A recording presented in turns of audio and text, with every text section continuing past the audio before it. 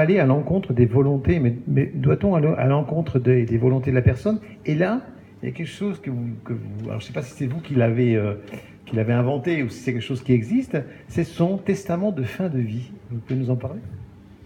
Oui, alors j'ai surtout parlé des directives anticipées. Alors, c'est pas quelque chose que, que j'ai inventé, c'est quelque chose qui existe en Suisse maintenant depuis un certain temps. Et il faut aussi savoir que sur la question des soins palliatifs, les anglo-saxons euh, sont beaucoup plus avancés que nous. Euh, les soins palliatifs existent depuis en tout cas une quarantaine d'années, en Angleterre notamment, mais aussi aux États-Unis. Et euh, ces directives anticipées viennent surtout du monde anglo-saxon, où il est demandé à la personne d'écrire ses volontés en ce qui concerne sa vie ou sa fin de vie. Et c'était quelque chose d'extrêmement important d'anticiper euh, cette question-là, puisque j'ai écrit quelle dignité pour la fin de vie, mais la question qui, qui nous touche plus directement, c'est quelle dignité pour ma fin de vie? Alors bien sûr, ça fait un petit peu peur, mais en ce qui me concerne, quand euh, j'étais auprès de ces personnes âgées, à un certain moment, je me suis dit, mais si moi, euh, je deviens euh, malade d'Alzheimer. Qu'est-ce que j'aimerais pour moi, simplement? Et, et, donc, j'ai dû, euh, j'ai dû y réfléchir. J'ai comme été contraint à cette, réflexion, puisque personnellement, je ne souhaiterais pas qu'on me nourrisse euh, pendant des années alors que je ne suis plus en mesure de reconnaître les miens ou de rire avec les miens et mon entourage. Personnellement, j'ai nourri des personnes qui peut-être, et même certainement contre leur volonté parfois parce qu'elles serraient les dents, mais on n'avait pas toujours d'indications claires. Et les directives anticipées permettent de dire, voilà, si une telle euh, maladie devait euh, m'arriver, qu'est-ce que je souhaite pour moi? Ça permet euh, d'y réfléchir et d'indiquer par écrit ce qu'on souhaite. Personnellement, je n'aimerais pas non plus terminer ma vie par un acte violent tel qu'un suicide, parce qu'il faut savoir que dans les médias, au cinéma notamment, il y a cette tendance à euh, valoriser le suicide assisté et à le décrire comme une belle fin, une belle mort, tout le monde est d'accord, tout le monde est content, la personne sera en paix. Il y a plusieurs euh, films hein, qui euh, sont sortis sur le sujet. Il y a une sorte de... On, romance un petit peu la question. Quand on est sur le terrain, on se rend compte que les questions sont, sont différentes. En ce qui me concerne, et là je vous livre un, témoignage personnel, si je suis incapable de me nourrir, je suis donc parce que je peux plus coordonner mes mouvements comme ça se fait, euh, comme ça arrive fréquemment dans la maladie d'Alzheimer. Si je ne peux plus coordonner mes mouvements pour me nourrir, je peux donc plus me laver, je peux donc plus euh, aller aux toilettes euh, tout seul, je suis complètement dépendant. Je ne souhaite pas que ça dure des mois, voire des années, ce qui est le cas aujourd'hui. Donc, en tout cas en Suisse, et c'est là aussi où c'est un business, on, entretient des personnes qui ne sont plus là euh, dans leur esprit depuis très longtemps. Euh, ce que je dis là, c'est quelque chose de très personnel.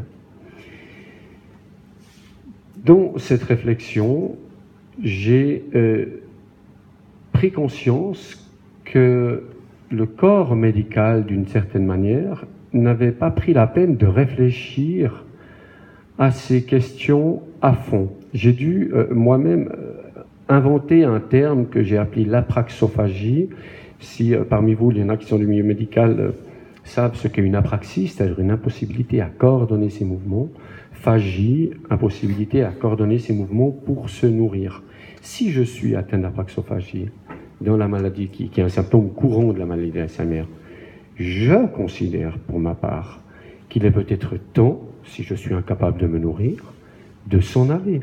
Je ne pense pas qu'il s'agisse là d'un suicide, je pense qu'il s'agit là de voilà, d'une prise de conscience et d'un respect des processus biologiques. Je ne crois pas non plus que quelqu'un âgé qui est malade et qui euh, est fatigué de vivre, qui s'arrête de manger quasiment naturellement, je ne crois pas qu'on puisse appeler ça un suicide. Ce qui caractérise un suicide, c'est la soudaineté de l'acte et euh, la, violence de l'acte, dans le sens où, c'est quelque chose de, de, soudain, de brutal. Voilà, on prend un poison ou, n'importe quelle autre forme et on s'en va. Lorsque les années s'additionnent euh, à la fatigue ou à la douleur et, qu'il est temps de s'en aller, que la personne se laisse aller, en ce qui me concerne, dans tous les cas, je ne vois pas euh, là une je ne pense pas que ça montre dans les critères du suicide. Ce que je demanderai par contre, c'est qu'on veille à mon confort, simplement. Et mon entourage est au courant de ces questions-là et, il sera temps de s'en aller naturellement. Je suis pour un respect des processus biologiques. Et encore une fois, je crois qu'on a. Euh, il est important de très bien définir les choses. Et là où je dis que le suicide assisté est une supercherie, en Suisse, si vous cotisez à une de ces associations euh, vous arrivez peut-être à 50 ans ou 60 ans, puis vous dites après tout, je ne sais pas. Euh, parce que dans l'opinion publique, le suicide assisté, c'est une sorte de mort douce qu'on décide, mais dans la pratique, c'est jamais comme ça. Alors vous cotisez, depuis 60 ans, vous cotisez 10 ans, vous arrivez à 80, 85 ans, vous êtes atteint de maladie d'Alzheimer, vous n'avez plus votre capacité de discernement, les associations ne pourront pas intervenir. Vous devez avoir votre capacité de discernement pour pouvoir pouvoir euh, boire le, poison. Donc vous aurez payé pour une prestation euh, voilà, auquel, à laquelle vous n'aurez pas droit. C'est dans ce sens-là que je dis qu'il y a une part de supercherie. Il y a quand même un côté que l'on, que l'on oublie, donc là c'est votre position personnelle, mais euh, lorsque l'on prend l'exemple par exemple des deux familles, alors c'est très étonnant parce que les deux, les deux portent le même prénom, c'est Vincent Imbert et, Vincent Imbert et Vincent Lambert. Euh, là, c'est quand même les familles qui s'acharnent. Oui, alors complètement. Complètement. Alors, c'est vrai que partir, bon, après, euh, c'est un acte personnel, mais derrière, on laisse des gens qui n'ont peut-être pas envie que vous partiez. Tout à fait. D'où l'importance d'écrire ces directives anticipées. Il semble que Vincent Lambert ait dit euh, plusieurs fois, il était infirmier d'ailleurs. Il, a dit Moi, si je suis dans un état végétatif, je ne veux pas qu'on me maintienne. Il l'a dit, semble-t-il, à son entourage. Sa mère l'aurait pas entendu, mais il ne l'a pas écrit. Si c'est pas écrit, c'est parole contre parole, et aujourd'hui, ce pauvre homme, je crois qu'il est toujours en vie. Ce qui a fait la une des médias, euh, j'ai plus l'année en tête, mais je crois que c'était au début des années 2000, c'était l'affaire Vincent Lambert. J'en traite, euh, j'aborde cette question dans mon livre. C'était ce jeune homme de 20 ans qui euh, voilà, a eu un grave accident de la route et dont la mère a finalement mis un poison dans la perfusion pour qu'il puisse euh, s'en aller. Cet homme, il avait toute sa conscience, il savait qu'il n'avait plus aucune perspective de vie, parce que la vie c'est quoi? C'est les relations, c'est le mouvement, euh, c'est les rencontres, c'est tout un tas de choses. Lui, il était cloué dans son lit, il savait qu'il n'avait aucune autre perspective, il ne demandait qu'à mourir, le corps médical lui a refusé euh, cette, euh, ne lui a pas accordé cette autorisation, donc l'a forcé, l'a contraint à vivre. Moi, je crois à l'autodétermination.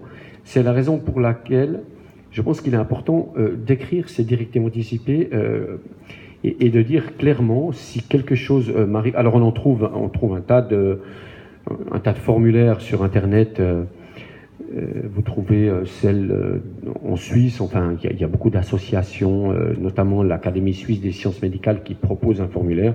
Vous trouvez très facilement sur Internet. C'est gratuit Complètement gratuit, oui, tout à fait. Voilà.